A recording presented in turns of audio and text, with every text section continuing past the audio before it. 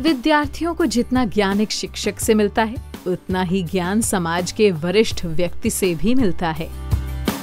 इसके तहत ही मानव संसाधन विकास मंत्री, शिक्षा के क्षेत्र में विकास के लिए विद्यांजलि स्कूल वॉलंटियर प्रोग्राम की शुरुआत की।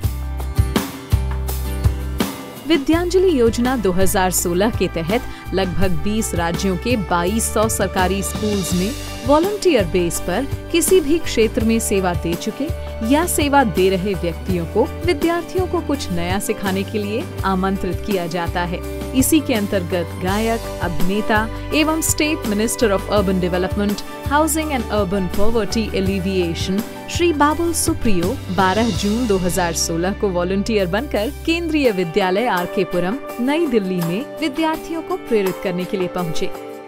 भगवान ने हम सबको ना कुछ ना कुछ गिफ्ट दे के भेजा है। सबको कुछ ना कुछ गिफ्ट दे के भेजा है।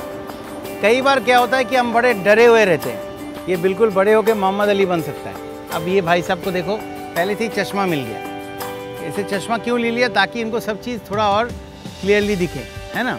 तो हम दूसरे चीज़ को क्लियरली देखने के साथ साथ थोड़ा आईने में अपने आप को भी देखें और पता करें कि हमारे अंदर टैलेंट कौन सी है। मैं गाना गाता हूँ, मैं पॉलिटिशियन नहीं हूँ, अभी तो बना हूँ। पहले गाना गाता था, तब जाके मुझे बाकी चीज़ों में चांस मिला।